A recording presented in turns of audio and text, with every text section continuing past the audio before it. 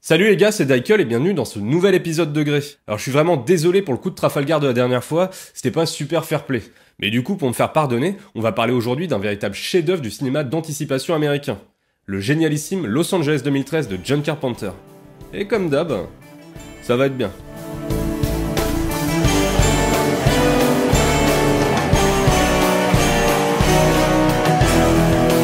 Alors comme à chaque fois, pour parler correctement du film, je vais devoir détailler un petit peu le scénario. Donc si vous l'avez pas vu ou que vous ne voulez pas être spoilé, eh bah... Bah tant pis pour vous, j'en ai un petit peu marre de faire des spoilers alertes que personne ne regarde, donc on passe directement au résumé du film. En 2013, Los Angeles s'est détaché du continent américain suite à un terrible tremblement de terre de magnitude 9,6 sur l'échelle de Richter.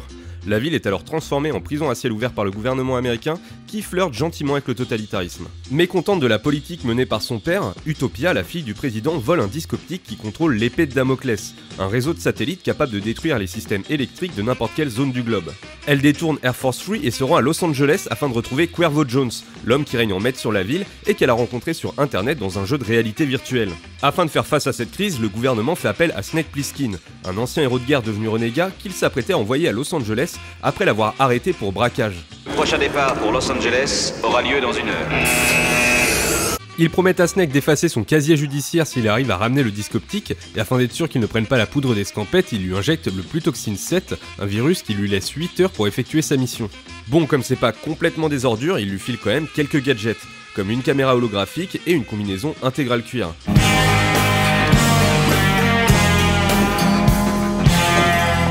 Alors personnellement, c'est mon thème préféré de Carpenter, et je pense qu'il peut rendre n'importe quelle scène ultra classe.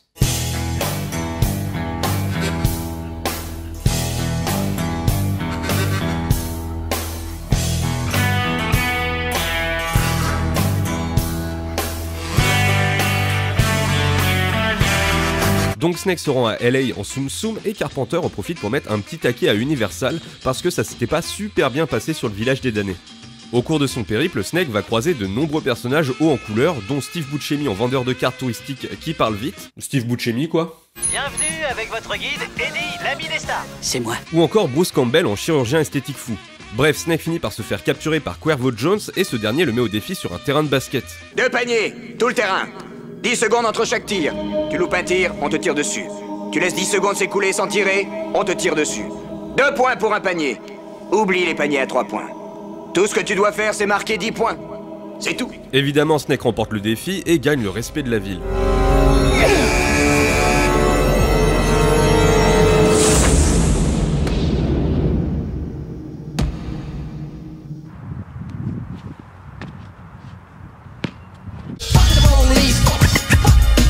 Snake profite d'une secousse sismique pour se faire la malle et retrouve Peter Fonda pour une session de surf sur un tsunami. Wow après cette scène particulièrement épique, Snake se rend chez l'ennemi juré de Cuervo Jones, Hershey, un chef de gang transsexuel interprété par Pam Grier avec la voix de Samuel L. Jackson. Eh bien, j'avais un autre contrat. Je me suis fait botter le cul. Snake promet à Hershey de l'aider à s'évader de Los Angeles et nos joyeux drilles entament une expédition punitive sur le gang de Cuervo Jones. Profitez bien de cette scène les gars, parce que Pam Grier en train de tirer au M16 depuis un deltaplane en combinaison full latex, c'est sûrement une des meilleures choses que vous verrez aujourd'hui. Snake arrive à récupérer l'épée de Damoclès et s'enfuit avec la fille du président à bord d'un hélicoptère. Il la pousse à l'extérieur juste avant de se cracher et se fait cueillir par le président et ses hommes qui lui révèlent que, attention, premier plot twist, le Plutoxine 7 n'était qu'un leurre. Je vous avais bien dit qu'il était stupide. T'as eu un virus bidon. Nique lui sa mère, nique lui sa mère. Alors que Snake essaye de négocier, les soldats interceptent Utopia, qui n'avait pas eu le temps de courir bien loin, et récupèrent la télécommande de l'épée de Damoclès que Snake avait cachée dans sa poche quelques secondes plus tôt. Mais alors qu'en pleine allocution télévisée, le président s'apprête à lancer une attaque sur Cuba, second plot twist, il se rend compte qu'il a en fait récupéré la mauvaise télécommande. Bienvenue avec votre guide Eddie, l'ami des stars. Bien sûr, nous savons tous que le grand chef a... Très amusant. Le président ordonne l'exécution de Snake en direct à la télévision, mais troisième plot twist, c'était en fait qu'un hologramme. Trahi une fois de plus par le gouvernement, Snake rentre le code mondial et éteint la Terre. Et puis il fume l'esprit américain au passage. Et on finit sur un morceau de White Zombie parce qu'en vrai c'est pas 2013, mais bien 1996.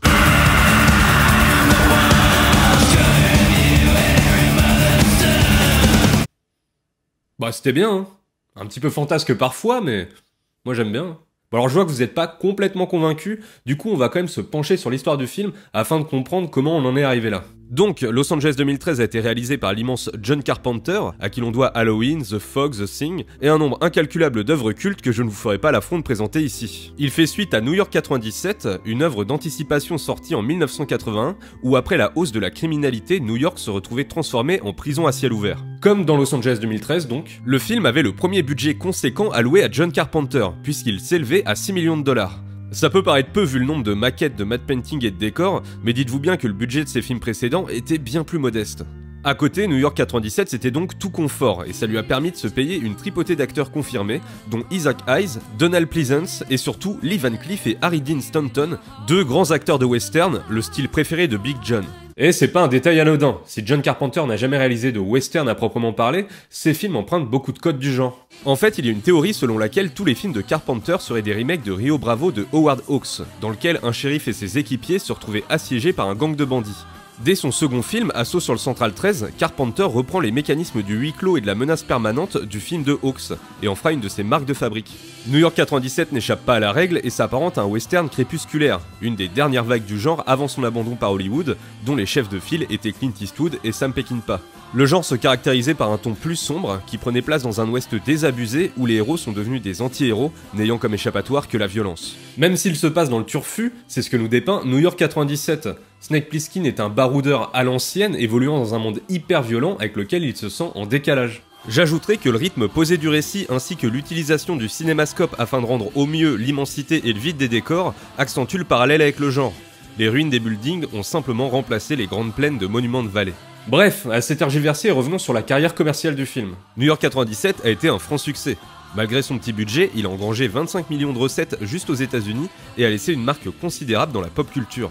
Le pitch a même été pompé pas moins de 4 fois par des productions EuropaCorp. Mais ce succès n'est pas vraiment le fruit du hasard. Il répondait en fait à une demande du public, dont l'intérêt pour les films post-apocalyptiques a été ravivé par le phénomène Mad Max sorti deux ans plus tôt. D'ailleurs, New York 97 est sorti la même année que Mad Max 2. 1981 était donc un bon cru pour le cinéma post-apocalyptique. Allez, une dernière anecdote pour la route. L'artiste Barry E. Jackson, qui a réalisé l'affiche, n'avait pas vu le film, d'où la présence de l'immense tête de la Statue de la Liberté alors qu'elle n'apparaît jamais à l'écran. L'idée venait probablement de la planète des singes, mais elle a grandement contribué au succès du film, lui donnant un style très pulp, et elle a par la suite inspiré de nombreux créateurs. Moi par exemple, ça a été mon premier contact avec le film. Voir cette jaquette trôner dans les vidéoclubs alors que j'étais peu a tout de suite éveillé mon intérêt, comme ça a été le cas d'ailleurs avec plein d'autres films. Bon, maintenant qu'on a posé les bases, on va enfin pouvoir parler de Los Angeles 2013. Il faut savoir que John Carpenter ne voulait pas diriger Los Angeles 2013. En fait, il n'a même jamais voulu donner suite à l'une de ses œuvres. Kurt Russell, en revanche, n'a jamais caché son attachement pour le personnage et a longtemps essayé de convaincre le cinéaste. Plusieurs scripts ont été écrits, mais ils furent rejetés par Carpenter parce qu'il les trouvait trop légers. Et il faudra attendre 1994 pour que le projet soit remis sur les rails. Kurt Russell prendra même part à l'écriture du script pour la première et la dernière fois de sa carrière, et le film sortira deux ans plus tard, engrangeant 25 millions de dollars de recettes. Bah, comme New York 97 en fait, ça va Pour un budget de 50 millions de dollars. la tuile. Et oui, malgré la grosse fanbase de New York 97, le film s'est magistralement planté. Alors certains diront qu'il est sorti trop longtemps après le premier, d'autres que la réputation de John Carpenter était déjà sur le déclin, mais en fait une explication bien plus simple. Le film est sorti quelques semaines après Independence Day. Le film de Roland Emmerich a tout raflé lors de l'été 96, et s'il n'a coûté que 25 millions de dollars de plus que Los Angeles 2013, difficile de faire le poids face au papa des blockbusters modernes, surtout quand on a des effets spéciaux qui font prout. Bon, c'est pas de leur faute, la boîte en charge des FX a fait faillite avant la fin de la production. Mais on peut pas incomber l'échec du film à cette seule raison. Los Angeles 2013 possède une place particulière dans la filmographie de John Carpenter, et aujourd'hui encore, il continue à diviser les fans du cinéaste. Tout d'abord, on lui a reproché d'être un remake plutôt qu'une suite. En fait, que ce soit la mission de Snake, le déroulement du scénario ou encore les personnages, tous sont un décalque de New York 97.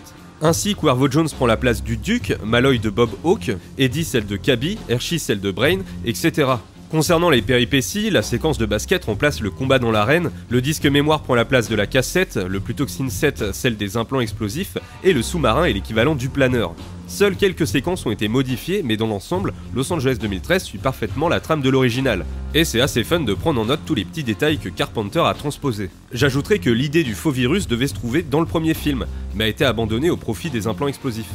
Ok, donc si je résume bien, le public s'est plaint parce que la suite est trop fidèle à l'original. Alors oui et non, car les deux films divergent grandement sur le ton qu'ils adoptent. En 1981, faire de New York une prison avait du sens dans l'actualité puisque la ville était rongée par un gros problème de criminalité.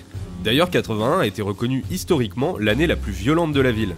Mais il fallait trouver autre chose en 1996 pour dépeindre Los Angeles. Et quoi de mieux que de choisir un angle burlesque pour illustrer la ville du toc et des paillettes. Les personnages sont par conséquent plus excentriques, caricaturant la population d'Hollywood, et les scènes cultes du premier opus sont remaniées afin d'en faire des monuments du nimp, comme le fameux guet-apens en deltaplane, qui est d'ailleurs un hommage au singe volant du magicien d'Oz. Je citerai aussi un gimmick du premier film qui est transformé en running joke. À chaque fois qu'un personnage rencontrait Snake Plissken, il lui disait Je te croyais mort, Snake. Et dans Los Angeles 2013, cela devient Ah, je te voyais plus grand. Cette nouvelle phrase rentre en résonance avec les préoccupations plus superficielles des habitants de la ville, s'intéressant davantage au physique qu'à la légende de Snake Plissken. En somme, Los Angeles 2013 ressemble un peu à une farce de la part de son réalisateur. Si on devait comparer les deux films à des westerns, New York 97 ça serait L'homme des hautes plaines de Clint Eastwood, alors que Los Angeles 2013 ça serait plutôt Mort ou vif de Sam Raimi. Mais je pense que voir le film comme un ratage serait réducteur. Comme d'autres œuvres de Carpenter, il trouve son intérêt en le mettant en parallèle avec le reste de sa filmographie. On va pas se le cacher, la plupart des films les plus appréciés du réalisateur sont ses métrages les plus sombres et premier degré. Pourtant, nier l'humour chez Carpenter reviendrait à faire l'impasse sur tout un pan de sa filmo. Pour moi, il se rapproche de cinéastes comme les frères Cohen, avec une œuvre que l'on pourrait scinder en deux parties, les films sérieux et graves et ceux plus légers. Comprenez-moi bien, un cinéaste qui était capable de nous chier un film aussi relax que Jack Burton dans les griffes du mandarin ne peut pas être dénué d'humour. D'ailleurs, je vous conseille vivement de jeter un œil à Dark Star, son premier long métrage. Tourné alors qu'il était encore étudiant et co-scénarisé avec Dan O'Bannon, le papa de Alien, Dark Star montrait déjà toute la palette thématique du cinéaste. Le film pouvait passer de sujets sérieux et philosophiques à des scènes incongrues, comme lorsqu'un des personnages tente d'enseigner la phénoménologie à une bombe, ou alors qu'un autre fait du surf dans l'espace. Et puis l'Alien c'est un putain de ballon de plage avec des palmes. Giger peut bien les se faire enculer. Et selon moi, Los Angeles 2013 fait justement le pont entre ces deux facettes du cinéma de John Carpenter. Car s'il est souvent drôle, voire ringard, c'est aussi l'une de ses pellicules les plus pessimistes. Qu'est-ce que tu viens faire à Los Angeles? Mourir. À la fin, Snake Plissken éteint quand même le monde parce qu'il sait qu'il n'y a aucune autre solution pour sauver la planète. L'homme a perdu le peu d'humanité qui lui est resté, et lorsqu'il balance à Malloy, Plus les choses changent et plus elles restent les mêmes. on ne peut s'empêcher de penser que Carpenter s'adresse directement au spectateur. Et c'est là où le choix de faire de Los Angeles 2013 un faux remake plutôt qu'une séquelle devient métafilmique. Plus les choses changent, plus elles restent les mêmes. Est-ce que ça veut dire que le film est un remake, ou bien que l'histoire est vouée à se répéter de manière cyclique? Eh bah c'est un petit peu des deux. Faire de Los Angeles un nouveau Cuba où l'épée de Damoclès remplace les missiles nucléaires et Cuervo Jones le Che Guevara va dans ce sens. Le film est autant un remake de New York 97 qu'il est un remake de l'histoire avec un grand H. Los Angeles 2013 porte donc un regard critique sur les dérives du système libéral, ainsi que sur ce que nous percevons comme le progrès. Alors que la science a permis des avancées technologiques considérables, la civilisation régresse, retournant peu à peu au stade animal. Et ce n'est pas anodin si dans tous les gadgets sophistiqués que reçoit Snake en début de mission, il se trouve aussi une archaïque boîte d'allumettes, De bonnes vieilles allumettes, on sait jamais, on peut en avoir besoin. qui sera le dernier objet qu'il utilisera après avoir détruit toutes les technologies. Bon, juste histoire d'en rajouter une couche sur l'aspect visionnaire du film, je vais vous parler de deux scènes assez flippantes, car elles font écho à des événements récents bien réels. Tout d'abord, dans New York 97, la terroriste qui détourne Air Force One alors que le président est à bord, crache l'avion juste à côté du World Trade Center, 20 ans avant les événements du 11 septembre. Ah ouais? La seconde scène a lieu dans Los Angeles 2013 lorsque Taslima explique à Snake comment elle s'est retrouvée ici. J'étais musulmane au Dakota du Sud. Et puis un jour, c'est devenu un crime. Ah ouais Et encore une fois, 20 ans avant l'élection de Trump. Alors si un personnage comme Taslima est sûrement présent afin de faire écho à la récente première guerre du Golfe, il est intéressant de voir comment Carpenter a pu anticiper de telles dérives, que cela soit fortuit ou non. Mais là où c'est intéressant, c'est que Los Angeles 2013 n'est pas seulement un film politique, c'est aussi un film très personnel. Je vous parlais juste avant d'œuvres métafilmiques, et selon moi, il y a une couche d'interprétation supplémentaire qui se dévoile seulement si on s'intéresse à la carrière de John Carpenter. Pour ça, revenons sur les mécanismes de l'analyse filmique. Moi, par exemple, quand je suis face à un film un petit peu trop riche, j'ai une technique très simple pour dégager son propos. Je le résume en une phrase. Exemple, Bad Lieutenant. un flic véreux et drogué trouve la rédemption en découvrant la puissance du pardon. Only God Forgives. Ryan Gosling a un gros complexe de deep. Two Lovers. L'amour, ça fait mal. Volte-face. On a échangé nos papas. The Tree of Life. Instagram, le film. Un flic à la maternelle. Un flic à la maternelle? Collatéral. Bon, et du coup, ça raconte quoi Los Angeles 2013 Eh bien, ça raconte l'histoire d'une légende vivante qui se rend à Hollywood pour accomplir une mission contre son gré et qui à la fin finit par enculer ses commanditaires. Le film est presque autobiographique. Lorsque John Carpenter réalise Los Angeles 2013, sa carrière est au plus bas. L'échec de Jack Burton dans Les Griffes du Mandarin l'a bien grillé auprès des studios, ce qui l'oblige à tourner Zay Live et Prince of Darkness avec des budgets rikiki. Et quand on lui donne un peu d'argent, c'est pour réaliser des commandes sur lesquelles il a très peu de marge de manœuvre, comme Les Aventures d'un homme invisible ou Le Village des damnés. Alors quand Paramount lui donne 50 millions de dollars pour qu'il réitère le succès de New York 97, eh bien Carpenter prend la thune. Mais il leur met quand même une petite béquille en passant. Los Angeles 2013, c'est 1h35 de John Carpenter en train de faire des doigts d'honneur à tout Hollywood. Tout le monde en prend pour son grade, de Disney à Universal, et je comprends même pas comment ça a pu passer auprès des studios. Carpenter utilise littéralement leur argent pour leur dire d'aller se faire enculer. En fait, je pense que les studios ont validé le film tout simplement parce qu'ils ont eu ce qu'ils demandaient, c'est-à-dire New York 97 en plus gros et en plus hollywoodien. Mais leur erreur, ça a été de le prendre au premier degré. Quand Carpenter a écrit le scénario de Halloween 2 et qu'on lui a proposé de le réaliser, il a répondu J'ai déjà réalisé Halloween, pourquoi je referai le même film? En soi, Carpenter n'avait aucun intérêt à refaire un deuxième New York 97, et la meilleure solution était encore de prendre le matériel d'origine et de changer tout ce qui en faisait sa force pour le transformer en une critique du système qui l'a engendré. En fait, Los Angeles 2013 est le reflet déformé de New York 97 à travers le miroir hollywoodien, une sorte de version inversée du premier film. Si le fait d'opposer New York à Los Angeles est déjà assez symbolique, on retrouve aussi cette opposition dans les codes couleurs utilisés. Le orange de la côte ouest se substitue au bleu de la côte est, et même le bracelet que porte Pliskin change de couleur pour passer du rouge au vert. Les teintes choisies ne sont pas anodines, elles sont en fait les couleurs complémentaires de celles de New York 97, c'est-à-dire les couleurs se trouvant à l'opposé du disque colorimétrique. Bah alors je sais, c'est super fumeux comme théorie, limite terre plate, mais bon, ça collait bien avec mon argumentaire. Bah alors vous voyez, Los Angeles 2013 n'est pas le nanar annoncé. Il se révèle même bien plus riche que ses détracteurs ne le laissent entendre, et Carpenter lui-même trouve que c'est un meilleur film que l'original. Connard. Mais je suis tout de même obligé d'émettre un petit bémol. Formellement, c'est vrai. Une fois les effets spéciaux mis à part, Los Angeles 2013 est plus maîtrisé et possède un meilleur rythme. Moi aussi, je le préfère à l'original. Mais je suis forcé de reconnaître que si New York 97 se suffit à lui-même, Los Angeles 2013 fonctionne en binôme. Et le regarder sans connaître son aîné vous fera passer à côté d'une partie de son intérêt. En conclusion, Los Angeles 2013 est un film méta et possède donc les défauts de son genre, c'est-à-dire qu'il fait appel à des connaissances qui vont au-delà du film pour être apprécié à sa juste valeur. Mais bon, maintenant que je vous ai révélé tous ces secrets, vous avez plus d'excuses pour le détester. Alors une fois que vous l'aurez admis dans votre fort intérieur, on pourra parler d'un autre grand film injustement déprécié de John Carpenter, Ghost of Mars.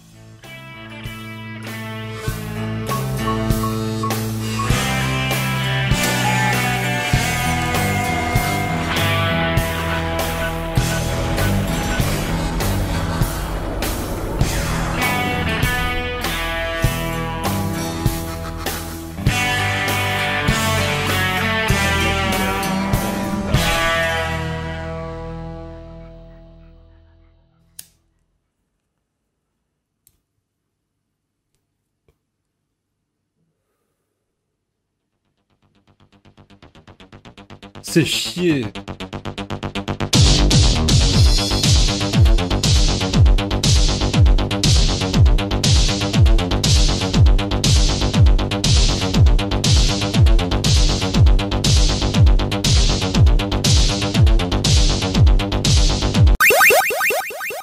Pas de cigarettes, pas d'alcool, pas de drogue, pas de femmes. Une terre de liberté.